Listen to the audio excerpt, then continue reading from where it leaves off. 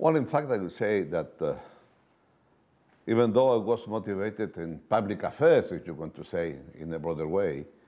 uh, to be specifically involved in politics, that, that is simply because of Pinochet. At the time of the coup, uh, I was uh, a professor at the university, and at the same time, I was uh, the Secretary General of the Latin American Faculty of Social Sciences.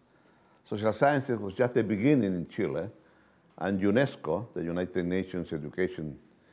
brand, decided to have an institute devoted to social science, and I was appointed, appointed the Secretary General of that. It's true also that President Allende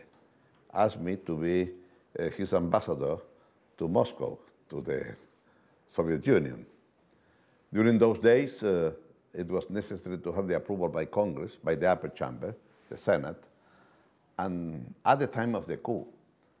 there was no ambassador in Moscow, in Washington, in Paris, in La Habana,